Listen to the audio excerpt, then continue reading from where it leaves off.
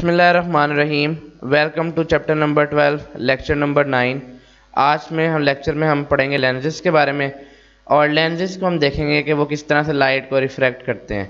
So let us start the definition of lenses a is any trans material transparent material having two surfaces of which at least one is curved lens की दो types होती हैं convex lens उसको converging बोलते हैं, और concave lens उसको हम डाइवर्जिंग बोलते हैं, ये अब हम देखते हैं कि वो कैसे इमेज फॉर्म करता है। तो let us look at the definition of convex lens the lens which causes incident parallel rays to converge at a point ऐसा लेंस जो लाइट को एक पॉइंट पे रिफ्लेक्ट करता है, उसे कन्वेक्स लेंस बोलते हैं। ये सेंटर से थिक होता है और साइडों से थिन होता है। Concave lens the lens which causes the parallel rays of light to diverge from a light this is called concave lens ऐसा लेंस जो लाइट रेस को फैला देता है, उसको बोलते हैं concave lens. Concave lens centre से थिन होता है, साइडों से थिक होता है। इस बात को समझने के लिए हम अभी रे डायग्राम की तरफ़ आते हैं। सब, आप एक दफ़ा फिर लेंस को देख लें। लेंस एक ट्रांसपेरेंट ग्लास या प्लास्टिक है, लेकिन शर्त यह है कि उसकी एक साइड कम अज़ कम कर्व होनी चाहिए। लेकिन अगर आप इसकी तरफ़ देखें तो इसकी दोनों साइड कर्व हैं। ऐसे लेंस को हम बोलते हैं बाइकॉन कॉन्वेक्स लेंस। और इसकी दोनों साइड्स कर में ऐसे लेंस को हम बोलते हैं बाइकॉन केव लेंस दूसरी बात ये कि जो मिरर होता है, वो इमेज बनाता है लाइट को रिफ्लेक्ट करके, क्योंकि वो शाइनिंग होता है एक साइड से ओपेक होता है. बट ये जो लेंसेज है, ये तो दोनों साइड से ट्रांसपेरेंट है. तो लेंस हमेशा इमेज बनाता है थ्रू रिफ्लेक्शन ऑफ़ लाइट इस बात को हम अब ज़रा डिटेल से समझते हैं. First of all lens terminology को देखने के लिए हम एक लेंस खोल लेते हैं अपने सामने. This is a convex lens इसके ऊपर लेफ़्ट हैंड साइड से कुछ लाइट रेज आ रही हैं। आफ्टर स्ट्राइकिंग कॉन्वेक्स लेंस ये लाइट रेज एक ख़ास पॉइंट पे रिफ्लेक्ट कर जाती हैं या बेंड कर जाती हैं। इस पॉइंट को बोलते हैं प्रिंसिपल फोकस दोबारा देखें। लेफ़्ट हैंड साइड से कुछ लाइट रेज आई। वो light rays after refraction through this by convex lens एक पॉइंट पर कन्वर्ज कर गई। ये जिस पॉइंट पर कन्वर्ज कर गई इस बुक को बोलते हैं प्रिंसिपल फोकस इसको हम डिनोट करते हैं कैप कैपिटल एफ़ से। दो तीन बातें हम और यहाँ पे समझ लेते हैं प्रिंसिपल एक्सिस ये जो लाइन या जो लाइट रे सेंटर से पास कर रही है और जो बेंड नहीं कर रही या जो डेविएट नहीं कर रही, इसको हम बोलते हैं प्रिंसिपल एक्सिस इसके डेफिनेशन देख लें। Each of the two surfaces of spherical lens is a section of sphere the line joining passing to the two centres of curvature is called principal axis अब ये टू सेंटर्स कैसे आपको याद होगा कि मैंने आपको बताया था कि कम अज़ कम एक सरफेस कर्व होने चाहिए। तो ये तो दोनों कर्व हैं। तो ये दोनों लेंसेज का एक ही सेंटर है, ये इससे पास कर रही है। तो इसको हम बोल रहे हैं principal axis what is optical centre ये जो हमारे पास बाई लेंस है, इसका जो सेंटर पॉइंट होता है। A point on the principal axis at the centre of lens is called optical centre इसको सी से भी डिनोट कर देते हैं और बाज़ दफ़ा इसको ओ से भी डिनोट किया जा सकता है। नेक्स्ट हमारे पास डेफिनेशन है प्रिंसिपल फोकस की। इसको हम थोड़ा सा डिले के बाद देखते हैं। अभी हम दोबारा एक और लेंस पे आ रहे हैं कॉनकेव लेंस कॉन्वेक्स लेंस को कन्वर्जिंग लेंस कहते हैं, क्योंकि वो लाइट को एक पॉइंट के ऊपर इकट्ठा कर देता है कन्वर्ज कर देता है। अब देखते हैं कि ये डाइवर्जिंग लेंस या कॉनकेव लेंस क्या करता है। बिल्कुल उसी तरह लेफ़्ट हैंड साइड से बहुत सारी लाइट रेज आई, इससे स्ट्राइक करी। स्ट्राइक करने के बाद इसमें से रिफ्रैक्ट कर गई।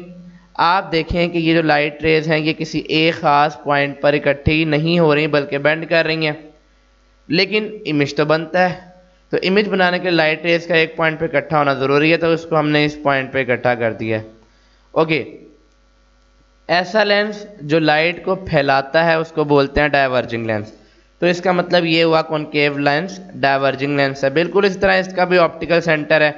और ये हमने ज़बरदस्ती लाइट को पकड़ के बैकवर्ड साइड पे या लेफ़्ट साइड पे खुद ही एक पॉइंट पे इकट्ठा कर दिया, इसको हम बोलते हैं प्रिंसिपल फोकस अब हम दो तीन बड़ी अहम बातें देखने लगे हैं। इस केस में लाइट रेज आफ्टर रिफ्रैक्शन वाकई इस पॉइंट से पास कर रही थी या इस पर इकट्ठी हो रही थी तो ये रियल फोकस है, क्योंकि लाइट रेज एक्चुअली पास कर रही हैं। लेकिन कनकेव लेंस के केस में जो फोकस है लाइट रेस असल में उधर से पास नहीं कर रही, बल्कि हमने खुद ज़बरदस्ती लाइट रेस को बैकवर्ड रिप्रोड्यूस करके इसको बनाया है। तो ये रियल फोकस नहीं है, बल्कि वर्चुअल फोकस है। हमने सिर्फ़ अपने इमेज फॉर्मेशन को सेटिस्फाई करने के लिए ये वर्चुअल फोकस ड्रॉ किया है। तो रियल फोकस होता है कनकेव लेंस कन्वेक्स लेंस का और वर्चुअल फोकस होता है कनकेव लेंस का। अब बात करते हैं फोकल लेंथ की। ऑप्टिकल सेंटर से लेके प्रिंसिपल फोकस तक के डिस्टेंस को फोकल लेंथ कहते हैं। Distance between optical centre and principal focus convex lens के केस में फोकल लेंथ पॉजिटिव होगी और कॉन्केव लेंस के केस में फोकल लेंथ नेगेटिव होगी। ये साइन कन्वेंशन है। नेक्स्ट हमारा टॉपिक है power of lens power of lens को डिफाइन करते हैं। Power of lens is defined as reciprocal of the focal length in metre क्या मतलब? अगर फोकल लेंथ आपके पास मीटर्स में है और आप उसको वन से डिवाइड कर दें तो ये उसकी पावर आ जाएगी लेंस की पावर अच्छा लेंस की पावर के यूनिट होते हैं डायोप्टर और आप वो यहाँ से भी निकाल सकते हो कि डायोप्टर वन ओवर मीटर यानी कि एम माइनस वन के इक्वल होता है. लेकिन याद रखिएगा फोकल लेंथ का यूनिट पावर का यूनिट डायोप्टर तभी होगा जब फोकल लेंथ मीटर्स में होगी. ये बोर्ड में बहुत दफ़ा एम में आया है one dioptre is equals to one per metre अच्छा अगर हमारे पास दो से ज़्यादा लेंस हों तो उनकी पावर को हम ऐड कर लेते हैं। और जैसा कि आपको पता है कि कॉन्वेक्स लेंस की फोकल लेंथ पॉजिटिव होती है तो उसकी पावर पॉजिटिव होती है। और कॉन्केव लेंस की फोकल लेंथ नेगेटिव होती है तो उसकी पावर नेगेटिव होती है। फिर ये आखिरी पॉइंट के जब दो लेंसेज हों तो उसकी पावर को हम ऐड कर देते हैं। यहाँ पे मैं आपको एक और शॉर्ट क्वेश्चन ही बताना चाहता हूँ कि थिकनेस जितनी ज़्यादा होगी फोकल लेंथ उतनी कम होगी। क्योंकि थिक लेंस लाइट को ज़्यादा रिफ्लेक्ट करता है और लाइट पहले ही रिफ्लेक्ट होके कर फोकल लेंथ कम कर देगी। और थिकनेस अगर कम होगी तो उसकी फोकल लेंथ ज़्यादा होगी।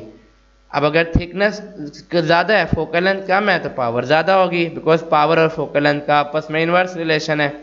और इसी तरह अगर थिकनेस कम है फोकल लेंथ ज़्यादा लेकिन पावर कम होगी क्योंकि पावर और फोकल लेंथ का आपस में इन्वर्स रिलेशन है। डियर स्टूडेंट्स ये जितनी बातें हमने की हैं, ये आगे आपके काम आएँगी। इसको आप याद रखिएगा। आज का हमारा लास्ट टॉपिक है कि हम प्रिज्म से भी लेंसेज बना सकते हैं। अगर आप एजेस जोड़ दें तो ये कॉनकेव लेंस बन जाता है? Thin at centre and thick at edges और अगर आप बेस जोड़ दें तो आप देखो ये कॉन्वेक्स लेंस बन जाता है thick at centre and thin at edges so, thank you very much for watching this lecture please do not forget to like and share this video and subscribe my channel